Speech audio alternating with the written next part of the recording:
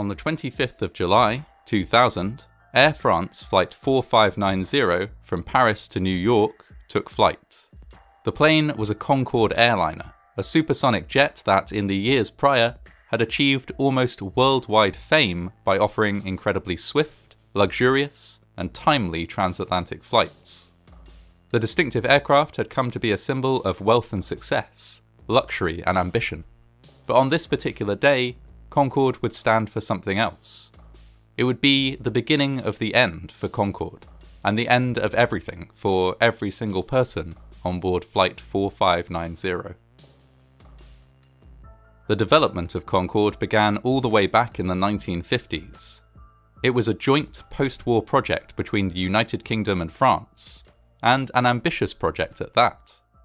Concorde was the world's first supersonic aircraft. Its ability to travel faster than the speed of sound allowed it to carry passengers from London to New York in just over three hours. An impressive journey time, considering that it would normally take more than eight. The innovations which allowed Concorde to travel so fast were numerous. Everything from the brakes to the windows were designed with the aircraft's unique characteristics in mind. A distinctive drooping nose cone allowed greater visibility when landing. A narrow frame and slender wings reduced drag. Even the paint scheme of the plane was unique. Every Concorde was painted predominantly white to help manage the heat generated by air friction. All of these design choices made Concorde instantly distinguishable from other planes. It was sleek, elegant, and futuristic, drawing comparisons with a space shuttle. Concorde very quickly became a favourite of the general public. People saw it as a symbol of innovation and brilliance.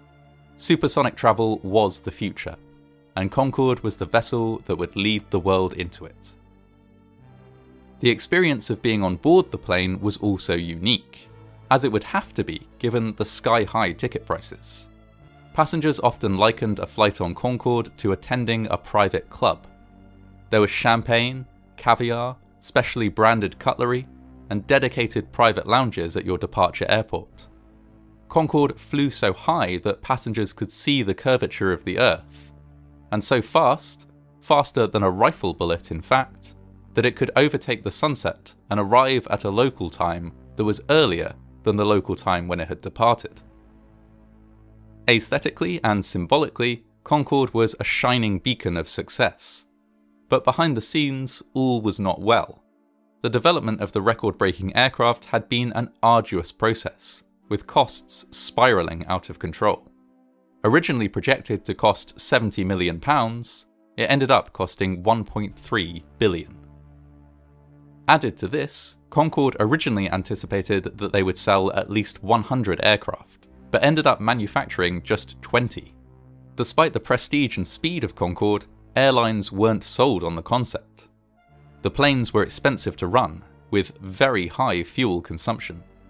They were also loud. The ear splitting boom they made when breaking the sound barrier meant that they couldn't really be flown at full speed over land, only over open water and they were small, seating only around 100 people in relatively cramped conditions. Concorde, then, was something unique.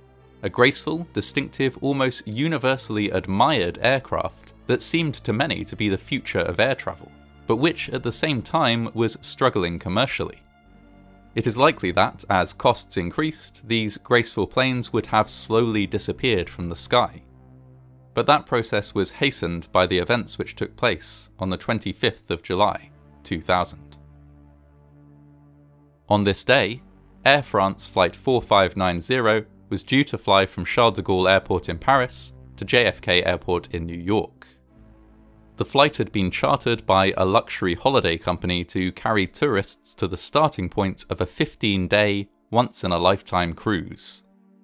For those travelling, the day began in style, as they mingled in a private lounge and met the pilots who would be flying them on their journey across the Atlantic.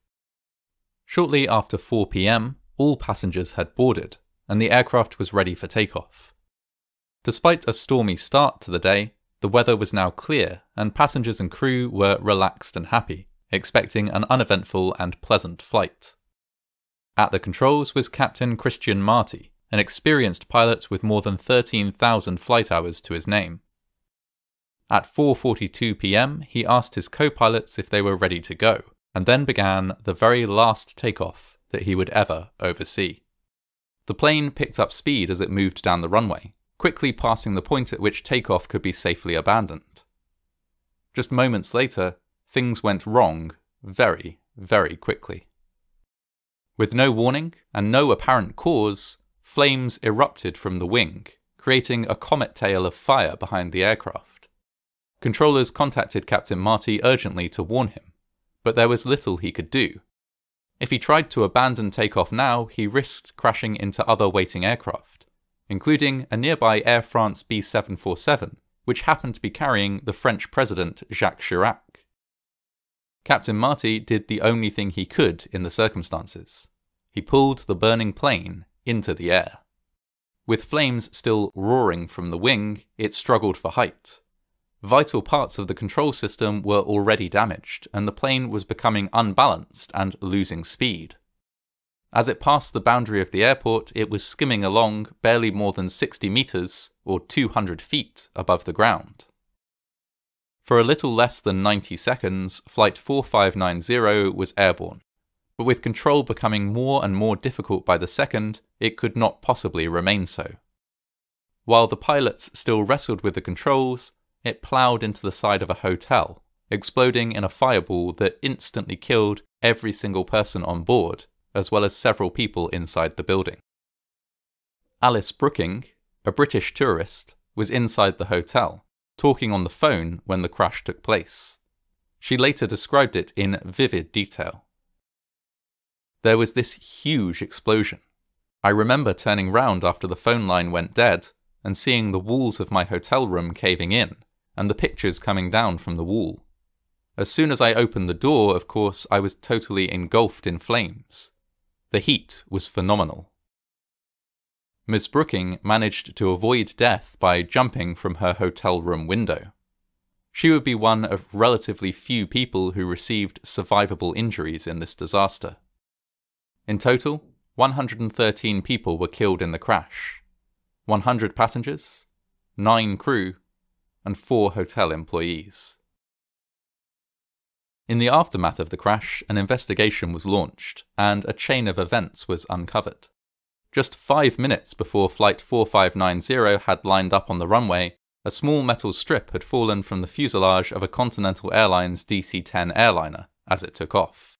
This thin scrap of titanium had lain on the runway, barely visible, until the Concorde passed directly over it. The strip pierced a tyre, sending a chunk of rubber hurtling into the fuel tank on the wing. As fuel gushed out, an arc from the landing gear ignited it, starting the fire that ultimately doomed the aircraft. The titanium strip which had fallen from the DC 10 had, it turned out, been fitted incorrectly during recent maintenance. The mechanic who had fitted it and his supervisor were charged with manslaughter, with the mechanic receiving a 15 month suspended sentence for his part in the disaster. Continental Airlines was also fined 200,000 euros and ordered to pay 1 million euros in damages to Air France and to cover 70% of the compensation claims from the public relating to the disaster. All Concorde aircraft were grounded following the crash, and numerous design changes were made to improve their safety. Kevlar armour was added to fuel tanks across the fleet, along with burst-proof tyres to prevent a repeat of the same accident. The crash had, of course, come as an immense shock to the public. Concorde's safety record had been excellent until that point, but the devastating loss of Flight 4590 shook public confidence in the supersonic plane. When Concorde did take to the skies again, passenger numbers were significantly reduced.